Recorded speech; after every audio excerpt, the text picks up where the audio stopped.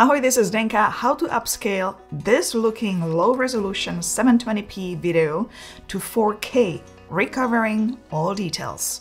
This tutorial is brought to you by Aiarty. The software I will be using today is called Aiarty Video Enhancer. The link is below the video in a video description. I introduced this software a few weeks ago. I'm gonna link it below as well. There are some new updates that I will point out in this tutorial it can do much more than just upscale the video. Once you open up Aiarty Video Enhancer, you will see this interface. On the left is where you import your videos, and on the right are all the tools. I'm going to hit the plus icon and import all clips. At the top are controls for screen preview. You can see dual screen where you will see before and after preview. Or you can use the slider which you just drag left and right. You can also move the frame with this hand. As you can see on the top left, the current resolution of the video is 720p. The first video I imported is not just a clip, it's a long video. If I wanted to select only parts of the video to work on and export, I could do this with the left and right selection tools is really an old video I filmed roughly 7 years ago in Czech Republic. As you can see, the software is automatically already showing the preview of how the clip will be adjusted with the current settings that might not be correct for this particular video, but the result is already there. The sharpness is visible as the low resolution clip in 720p is very blurry. If you need to import more clips, just hit this plus icon on the left. Let's work on the first video. This is a long video, but I only want to work on the first landscape clip. Let's select only that portion of the clip. Let's go to the right side and start with the More Details AI panel. The first thing you are going to do is select the hardware you want to use depending on your computer system. The choices here are CPU, NVIDIA GeForce, and graphics card. I will leave it on NVIDIA. The next step would be selecting an AI model that works the best for the particular clip. There are three options. MoDetails HQV2, Smooth HQV2, and Super Video VHQ. When you hit the question mark, it will explain in detail what each AI model does.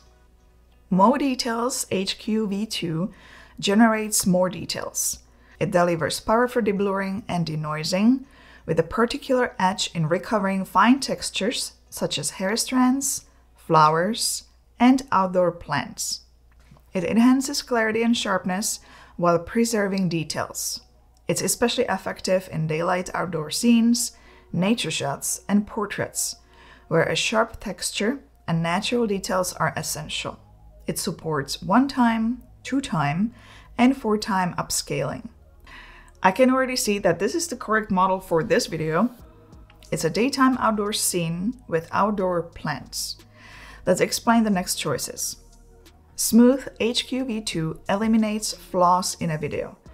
This one provides natural deblurring and denoising. It's ideal for general video, especially useful in scenes with people, outdoor lighting, or moderate imperfections.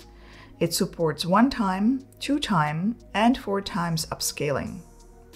Super Video VHQ is optimized for low light denoising, so the main focus is denoising under extremely low light conditions such as night skies, urban nightscapes, or dimly lit interiors.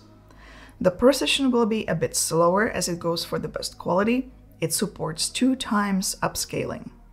There are also instructions for one-time scaling. If you don't need to upscale the video, you want to keep the same size, but simply need to fix the video as it might be blurry, you just select one-time scaling, that's all. Let's go back to the right panel. Below the AI model selection are upscale controls. You can upscale up to 4 times or up to 4K. You can also select a custom resolution. So for this first video, I will select MoDetail HQV2 and I will select upscale to 4K. When we look at the preview window, you can see how much detail it has recovered. It's a very big difference. Let me just quickly show you on another clip, for example, this woman, how much detail you can recover with the same model. Notice the blurry details around the edges of the face. Here is after. You can see all the little hair. Another clip I have here is a night clip. For this one, I would use the model for low light scenes, that is Super Video VHQ. The noise in the video is gone, it's very smooth now. Okay, let's return to the first clip and continue. Edit controls are next. Here you can rotate and flip the clip, crop, and work with multiple tracks. Color is a newly added feature, so let's explore that and enhance the video a bit. I am going to drag the preview slider a bit more to the left so you can see more of the frame. Let's bring the temperature to a bit warmer tones. Let's bring out the contrast a bit more. Let's see what saturation does. It does enhance the color, so let's keep it there. Highlights, I'm not going to adjust that much. Let's see if shadows need a bit of a help. Let's play with whites and black tones. Let's keep the color panel selected as I want these corrections to happen. Below you have frame interpolation, where you can change the frame rate of the clip. This is used to smooth out those choppy videos. You can also create a slow motion from the clips that were filmed at real speed. If your clip has audio with lots of noise in the background, you can correct it here. The same thing here, choose an AI model and adjust these settings below. My clip doesn't have an audio, so I'm just going to stay with upscaling, enhancing details in the video, and color. I will now hit Add Task. Below are all the actions that will happen to this video. I can see the original size on the left and on the right output settings. If you still want to add something, you can hit Modify, work with the tools on the right, and once you are ready, just hit apply. I am ready to export a clip, so let's pull out export settings. I will leave the format on MP4 and video codec H.264. There is no audio in this clip, so I don't have to worry about that. Then I just need to select where I will save the file. Let's hit export and now you can see the process on the bar. The video is exported. Let's play the original clip first. And here is the final clip. There is a big difference. If you have several clips imported you want to work on, and then export at the same time, you can do that as well through batch processing.